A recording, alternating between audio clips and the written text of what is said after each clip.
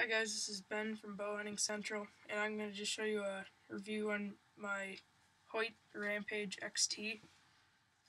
Um, I like this bow. I wasn't looking at too expensive of a bow, just because, um, just to put it on, just, you know, just to save a little money. And, um, I like this bow. It's 32 axle, 32 inches axle to axle.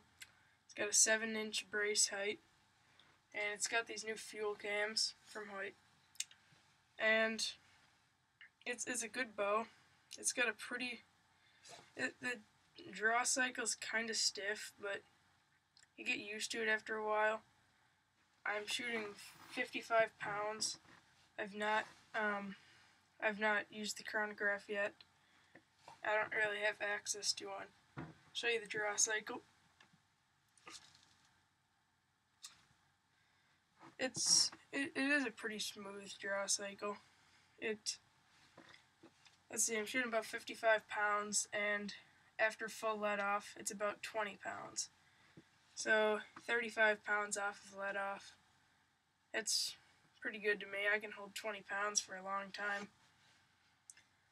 Right now on it, I just have a Team Extreme sight, bone collector sight. I got a quad or QAD um, Pro HD drop away. Got a G5 quiver, Fuse Carbon Blade, fused made by Hoyt. And I, right now I just have the fu uh, fused fa factory strings that come on the bow. And they're decent strings, just the regular fuse stop uh, string stop. It's six hundred dollars, and it's well worth the money for me. If you're not really sure, or if you don't really want to buy a thousand dollar bow, and this is probably the bow to go with. It has the there's the also there's a just a regular rampage.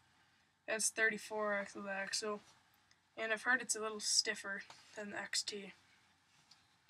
But I wanted the shorter axle to axle just because it's what I like.